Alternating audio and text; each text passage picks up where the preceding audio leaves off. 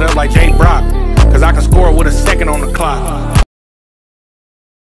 What's good, y'all? It's your boy J. Brock. It's Clapitup LA. You know what I'm saying?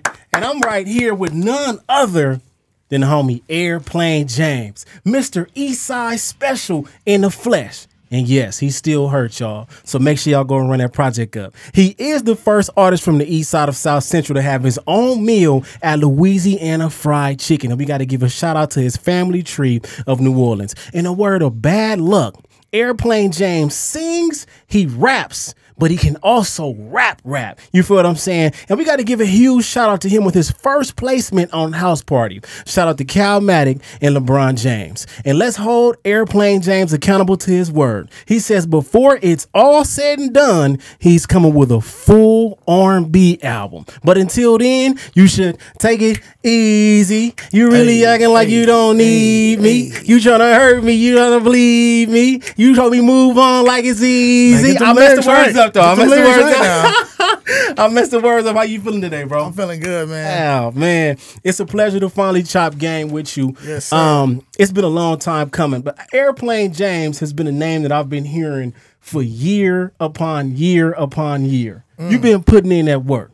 I have. How is life treating you today, Airplane James? Man, life is treating me well today, man. Mm-hmm. I'm feeling good. Came to fuck with you. I'm in a good spirit, good mood, man. That's always good, man. What got you in good spirits, bro? Man, life. Life's going good. Got me a new little pet. You know, I used to be scared of dogs. Yeah, you used to be scared of dogs, but you but you got one now. I got one now. That's So, crazy. Eh, How, how was your Valentine's Day? We fresh off of Valentine's Day. Man, my Valentine's Day was cool. I couldn't really do nothing because my dog's a puppy. Oh. Couldn't really go out with him and shit. So Yeah, I made some homemade sangria yeah. and then I tried to watch you. But that shit was weak. Ah, who you was weak. Hey, I don't know. I don't know who watching you. The funny thing is, he said it and pointed to me. So I'm like, hold on, what you mean? I'm- no, no, not you. yeah, yeah. no, I got you. I got you. Hey, man. So we gotta, we gotta, we gotta, gotta jump into this, man. Um, childhood, 1992. Yeah. Mom's had her situation. Yeah. You go foster care, adopted by a lady that you can, can would consider grandma, who would give you that name airplane because you said your head was as wide as an airplane. Mm-hmm. Okay, now you never met your dad. Have you met your dad yet? Okay, let me ask you something. You are a father. Mm-hmm. How determined did that make you to make sure that you be in your children's life? Um, very determined. You know what I'm Mm-hmm. saying? Just because I never had that. So when when I'm raising them and looking at them, I just want to give them everything that I didn't have in that department. Mm-hmm. But I'm also a kid that feel like I didn't really miss out on anything. Mm-hmm. Like having a dad really didn't do nothing for me. You know what I'm saying? Mm-hmm. I had my grandma, I had uncles, I had father figures. So I don't feel like I really necessarily missed out on anything. Mm, I feel that. Um, that's a tough one. Mm-hmm. Okay, I was raised by my step pops. I had my step pops. Shout out to all the great step pops out there. But I feel like I, you know, raising my own son. My mm-hmm. son be in the house, daddy, daddy, daddy, mommy, mommy, mommy. I feel like a kid just wants to be able to call on their parent and for mm-hmm. their parent to be there. True. You feel what I'm saying? So having my dad choose not to be in my life was just kind of always a chip I had on my shoulder. You know him? You feel what I'm saying? I know who my dad is. I know exactly who my dad is, and a lot of people know who he is. a lot Damn. of people know who he is. Yeah, and, and he chose not to be there. yeah. Chose not to be there. You know, and it, Yeah. it's got to the point where we we have conversations and we talk about the same thing. And as a, when I was younger, I dealt with it. Mm-hmm. But as I got older, I was just like, you know what? I ain't even got the energy, bro. Yeah, it's like the situation with me. I don't know if he's living or dead. You know, this was '92. Yeah. Mom's was going through her situation. She met him during the situation. You know, who knows how that shit happened? You know, but you know, I don't even know his name. She don't You- know his name either. And it's crazy because you might have some brothers and sisters that you just don't know about. right? Ain't That- that something? that's crazy. Now, when you now you did meet moms Mm-hmm. a couple years ago. Is this where you would discover your New Orleans family? You know, you had a great a great auntie that lived to be 112 years old. Yeah, man. How the fuck do you know? You like the fucking hood. He had a great bruh. A great auntie to live 100, and then you also would meet your grandma Delilah Murphy and grandma Thelma Williams, right? Mm-hmm. And you said you always had this thing for New Orleans, okay? And we, you know, and it's I, just ironic how he has this Louisiana fried chicken special. You know what I'm saying? This is That's just crazy. crazy, right? You know what I mean? So, Full circle. so what was it like you know, I, I know you said mom, she can actually talk, you know, and y'all relate because both of y'all have bad sense of direction. What is it like when you meet when you meet your mom for the first time? Uh, because I remember I kind of when I met my dad, I was kind of like I feel like he's like my big brother. So what is it like when you meet your mom for the first time? Was it like ah, this is my mom, or was it kind of more so like who is this lady type? Oh man, I don't really even know how to explain those emotions. Um, Mm, okay, I feel that. but we can go into it. Um, it just, I just was, I kind of was shocked. You know, like I never thought I would meet the lady. I don't know if she was alive or what. Yeah. Um, so when I got the letter, it was like a whole process. So I got the letter from um the the foster agency, like, you know, do you want to find your mom? They sent me one letter when I was like 17. And at that time, I guess I was just immature, or not I was like, man, fuck that. You know, like I didn't did it this long without you. So but then, you know, curiosity got the best of me. I'm like, damn, what if I got siblings? You know, what does she look like? You know, what yeah. what is, you know, my real family? Yeah. Wh- Where do they come from? What's the background? So I was like, damn, I started to get more curious. And then 19, they sent me another um, letter, and I was like, okay, I do want to find her. Wait, so that was a two year gap? Two year gap. Okay, because I seen you talk about this, but I'm thinking that maybe it was a couple months. That was a two year gap. It was a two year gap from them sending me the letter, and then Yeah, it was yeah. like a seven, eight month gap from actually finding her because they sent me a letter. Oh. They gave me her number and her address. So then I go to the address, and I'm like, I go over there and shit. I'm trying. I'm talking to security guard, whatever. Yeah. I'm like, you know, is there Lana Williams live here? They was like, nah, she moved six months ago. Mm. So then I'm like, damn. They're like, well, who are you? I'm like, shit, I'm her son. It was like, her son. I'm Like what? yes, she has a son. You Yeah, know? So yeah, I'm like, man, if she ever in this neighborhood or if she ever comes back around, you know what I'm saying? Um, let her know I came by. I gave her my number, gave her my number and shit. Yeah. He's like, man, she be going to the church down this down this way. So, you know, if I see her, I'll give her your number. Mm. Seven, eight months passed by. I just get a random call one day, like, Yeah. is there a Wendell? Is this Wendell? I'm like, yeah. She's like, it's your mom. Hold on. Hold on. It was Yeah, crazy, you know what I'm saying? So It's but like, she- from that point forward, like I was just I didn't say nothing. Yeah. She just kept talking. Yeah. She talked me all the way to her front step. She was like, "Yeah, and this is my address, and you can come see me at this time." And I was like, all I said was okay. So Like, your so your so your initial reaction was just freeze, like yeah, I was frozen. yeah, And even when I went to see her, I was just like, damn, this shit crazy. like I can't believe I have a mom. yeah, and then she told me I had a sister. Mm. Did you meet your sister yet? Yeah, I met my sister. I went Okay, to cool. Hawaii with my sister Yeah. on some dope ass bonding shit. So okay, so when you meet moms, man, how long did it take for you to develop the love? Because you lived your whole life without her. You mm-hmm. feel me? I, and, and naturally, we have a a space for our parents. Mm-hmm. But how long did it take you to like develop that love and, and develop that want to be around her? Mm.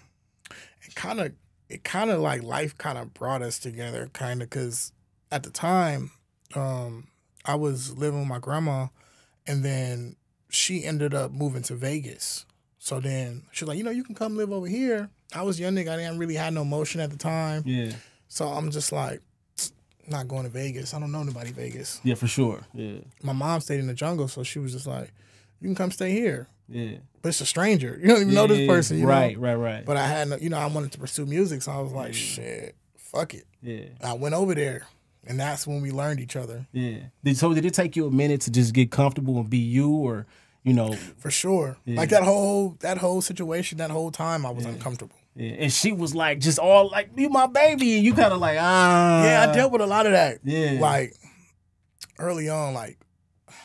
Like I haven't even had this conversation with her, so I hope she didn't take this wrong way. But it was a lot of that in the beginning of trying to re-raise me, Mhm. and I'm I'm already in your way I'm, I'm already raised, you know. Yeah.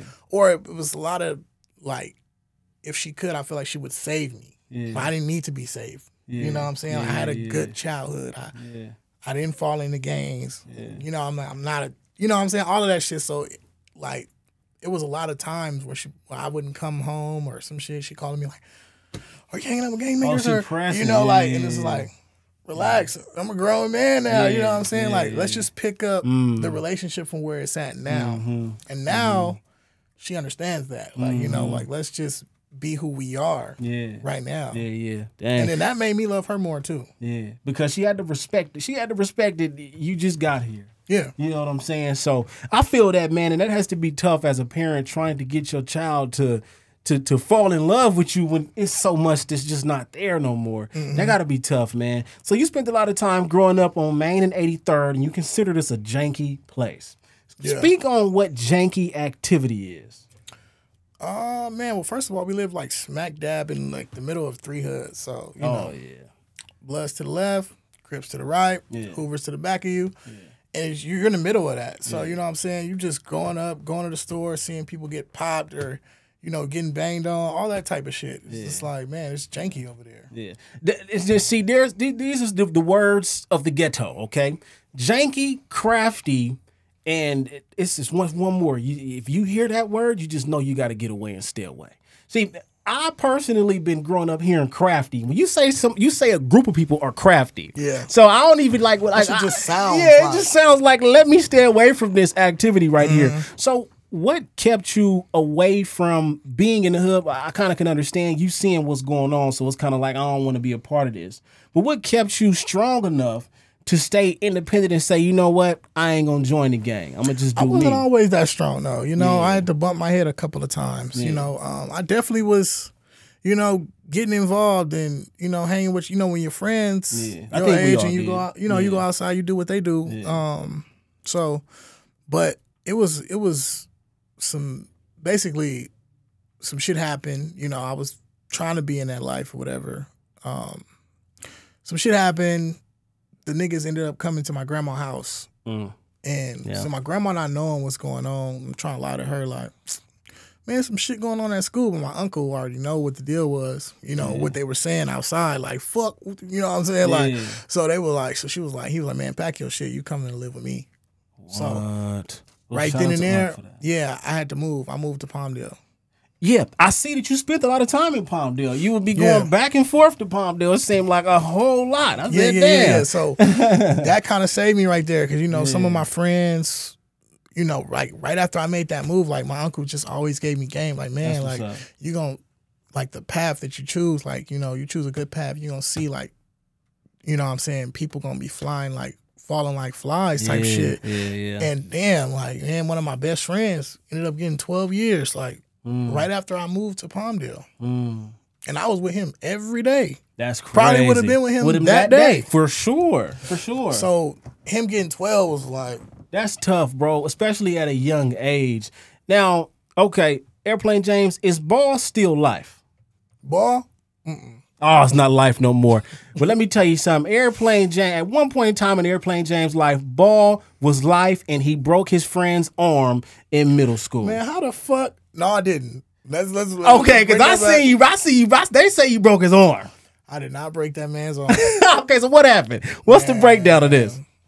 First, what was it? Were you Hack-a-Shaq out there? I was not Hack-a-Shaq. I was really good. He was just, bro. If anything, he was a Hack-a-Shaq. So you feel me? I just gave him a little shoulder, and I ain't expect him to fall back, and he broke his arm. I ain't break Ooh, his hey, arm. hey, to this day, he will not. He will not take. That's the third. That's the uh, third day of school. You know what I'm saying? You like Oh, the man. new kid on the block. Niggas Yeah. think they could, you know what I'm saying? Pump some fear in your chest. I had to let them know what it was. Oh man, Airplane James, man, don't play with him on that court, man. Man, that's crazy that you even know that story. now, um, you went to Palms Middle School. nah. Okay, I went to okay, a couple middle schools. I went Okay. to um, this place called Mother of Sorrows. It's right there on 87th and Main. Mhm. Um, they kicked me out Oh man, dog. for I didn't even. It wasn't even my fault. yeah. Then I went to Bethune. Then in the middle of Bethune, that's when I moved to Palmdale. And then I Okay. finished middle school and then summer high school in Palmdale. Then I came back. Okay, got you. So when did you win that uh, that, that the essay contest? That was seventh seventh grade. Mother yeah. of Sorrows. Yeah. Mm-hmm. Now this essay contest, what did that prove to you when you won this contest? Man, that let me know that I could really write. That Mm. I really had a fucking ability to write. And it wasn't even on some rap. I mean, I always wanted to do music. Yeah. But then I was like, like when I won that shit, I was thinking about doing like fucking short stories and shit like that. Writing a book, being an artist. You feel me? Yeah. But yeah, that Oh. definitely put a battery in my back. Okay, so if Airplane James could write a book, which is is probably not too far fetched from what you do now, Mm-hmm. what would that book consist of? I don't know. It'd be some black superhero shit though. Uh, for sure. Airplane James uh, with, with with the cape on or something. Or? Not me. Oh, okay. I'm, I'm making about somebody else. we deal with Oh, so me. much real shit in life. Like Mr. Manchester. I like to read about fucking fictional shit. Yeah. So so like Harry Potter's up your lane. no. Oh, okay. Damn. I mean, that's fiction. That's like one of the best ones. But you know what I did like growing up? I liked the fucking Lemony Snicket, um, a series of unfortunate events. I don't even know what that is. I heard of the name Lemony Snicket. Them books right there was fire. Oh man, you know when we grew up in elementary school reading Junie B. Jones, uh, uh Goosebumps, stuff like Goosebumps? that. Goosebumps. I tried. I, the first book I really read in school was Monster Kody's book.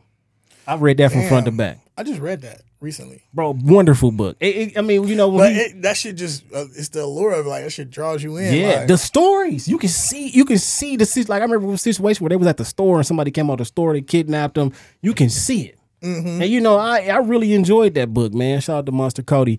Now you got a thing for gummy bears, and and I think Nicki Minaj was like one of your first real crushes, something like my that. My nigga. Hey, this is wild. you must have been on my Facebook or something. That's what the fuck. Yeah, Hey, man, I know, you your sources. this nigga really did his homework. Yes, man. Oh, man. Nicki was for sure one of my first crushes, man. Hey, man, what itty so- bitty piggy? Yeah. Nicki Minaj was the coldest in the game. Okay, so when it comes to female artists, Mm-hmm. who was your top five in female artists Ever? Ever? Damn. I know Missy Elliott got to be up in there. Lauryn Hill, Lauryn Hill. Okay, that's that's good. You can't argue with that. Nicki. Nicki. Damn. You got to say Missy Elliott, bro. I mean, you can't. Yeah, Missy Elliott, for, for sure. sure. Yeah, that's easy. Lil Kim. Lil Kim. You just got to name the queen next. That's, that's all you can do is name the queen next. Who? Queen Latifah.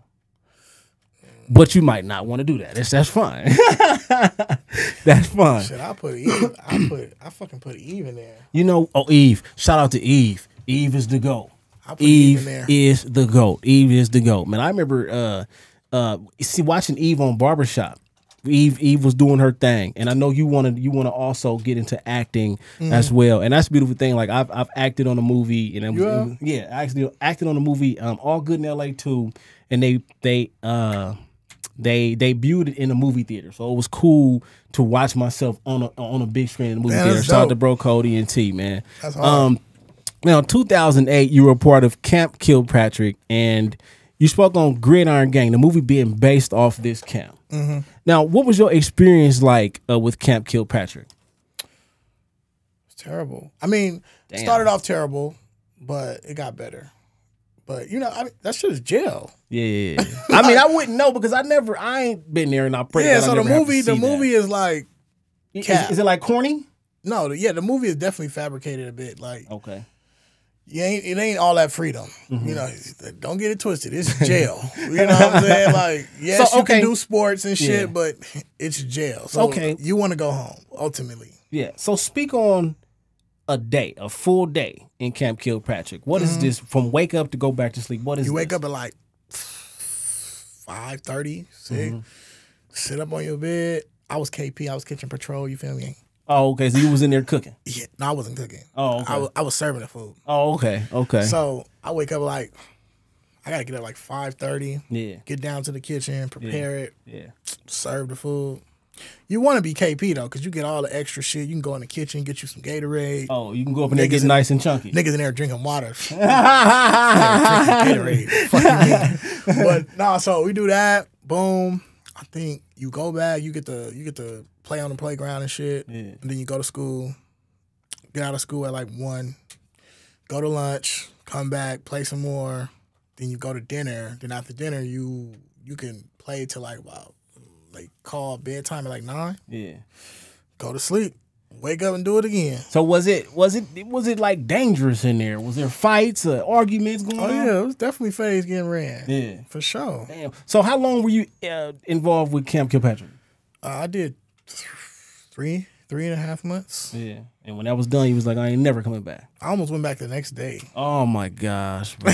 But that right on, there, bro. after there, after that, that's when I was, I turned my life. around. I was like, That's a no new- more. That was a new leaf. Right You there. turned a new I leaf. literally almost Yeah. went back the next day. That's crazy. Do you mind talking about what happened? Yeah, so I had a girlfriend at the time. Uh-huh. She was toxic. You feel me? Like, bruh, Before that was a thing.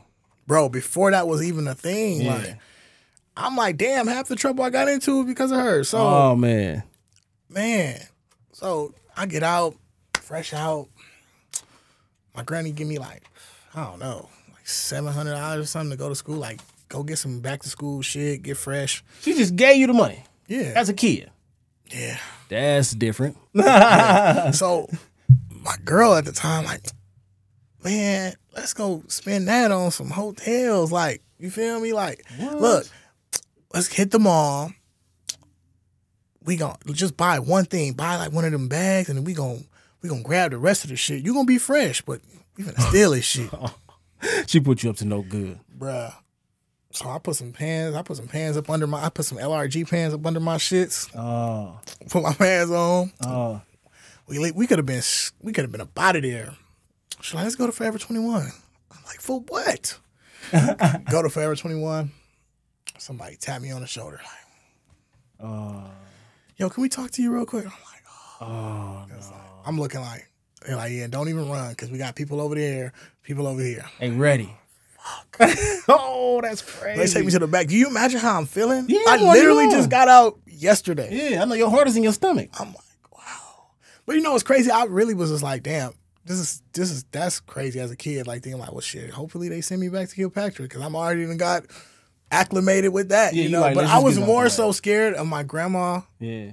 Of them calling my grandma and knowing she had so much high hopes for me. Yeah. Getting out of that place because it went from night to day, like literally. Like I won that essay contest, and then shortly after, I got kicked out of that school. And then after I got kicked out of that school, it was just like a tumble effect. Mm. So you could imagine she she's on this high, like he's finna do so well. So when I got out, you know, telling her I'm gonna change and blah blah blah, and then I'm like, damn.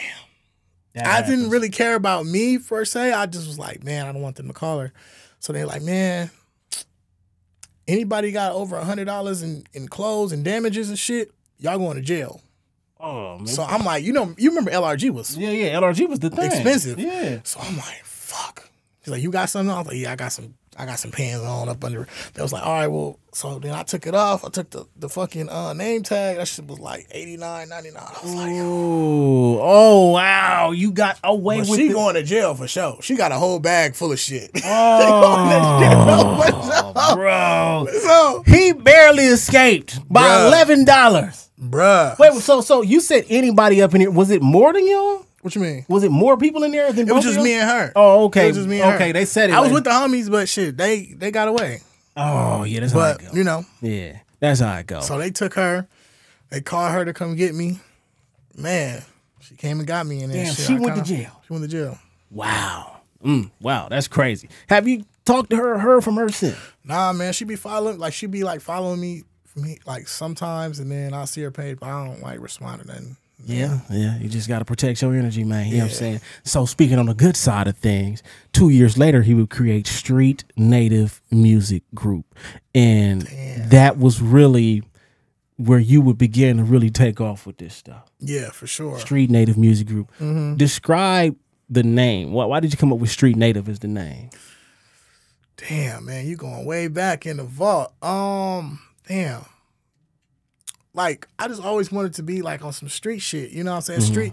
Like I was like, what would it be a like a dope way to be like on some street shit? You Yeah. know. But it was really supposed to be like on some clothes. Like I always wanted to do merch type shit, even as a uh-huh. youngin. So mm-hmm. I'm like, man, street native was really gonna be some clothes shit. But mm-hmm. then I did a freestyle of uh, Hard in da Paint. Yeah, yeah, yeah. And then like all the homies on the block heard that shit and it was like, man, this shit hard. So my best friend, who he said I broke his arm, Shout out to bro. he like, uh, man, let's just really do this shit. Let's take this shit serious. Like, so nigga, we went to Home Depot. We went half, got all the studio equipment. I already had like, I think I had a laptop, Yeah. but that's it. Like he, I ain't even had the money to buy the speakers. He bought the speakers, and shit. That day, twelve twenty seven. I don't remember the year, but December twenty seventh was the date for sure because I wrote it on the studio, mm-hmm. and we built it, and then that was the day Street Native was created. Wow. And you did the hard and paint around the time everybody was doing the hard and paint. Hard and paint was going crazy around that time. Now I wonder where all them niggas at, man, today.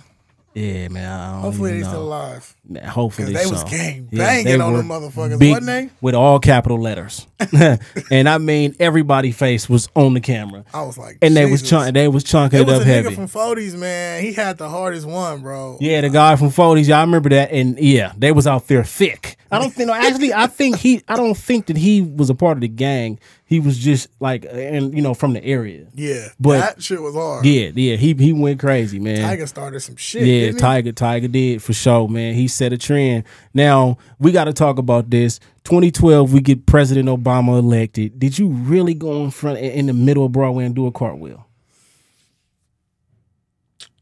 I might have. Oh, I might have. man. I might have done that.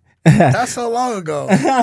what would make you do a cartwheel in the middle of Broadway? Because I mean, I would imagine not wanting to step outside over there. no, that's fine. It's fine. It's, it's janky, but that's my area. Yeah, yeah, yeah. I love it. You know what I'm saying? It's like, it's like, it's like you from the city, right? So Yeah. somebody from the outside might be like, I ain't going there. Yeah, it's you places. like, yeah.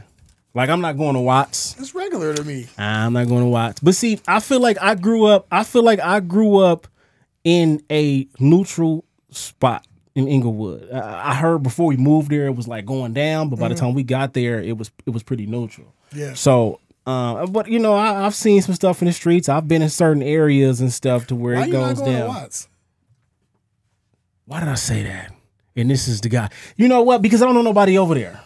That's a good answer. And because I guess I've- you do gotta and- know somebody. And, and, and, and because I've heard nothing but monster stuff about Watts, bro. But everybody I talk to in interview, they always say like, bro, it's not, it's not that bad. But they do recommend you know somebody over there. Yeah, you definitely got to know somebody. Yeah, yeah. I mean, I, I didn't mean to offend nobody, nothing like that. But I'm not, I'm not from that area, bro. I didn't, I didn't Yeah. grow up in that type of. We got to change that, man. yeah. Yeah. I know Dom Kennedy made a song about that too. Like everybody's scared to go to Watts. Yeah. But like I said, if like he and you even just said it, if you don't know nobody over there, then you probably shouldn't go. Okay, that's what I'm talking about. Now, but shout out to Watts though, man. Um, but we gotta talk about Sandman. Um, rest in peace, Sandman the Goose. Um, man, I know he was he was up and coming legend. I spent a lot of time over there. I went to Crenshaw, so he would be around those people. And um, what what does Sandman mean to you? Man, that was one of the first niggas I seen really, I don't know, like as a kid, I'm like. I really thought he was like famous. Yeah, You know yeah, he was Like- there. He was on his way. You feel me? So, you know, and then just seeing him come around, like, and really doing the music, I'm like, damn, I could do this shit. That was the first person, like, besides, like, the bigger, bigger artists. That was some, like, Yeah. first that I could, like, You could actually see him touch and be tangible, you know what I'm saying? And hear his music and shit like that. So, damn, that's crazy. Yeah, rest in peace, Sandman. rest in peace, Sandman. I seen All they right. doing, like, a documentary on him. Oh, for real? Mm-hmm. Oh, that's dope. Shit, that's something that people should be on the lookout for.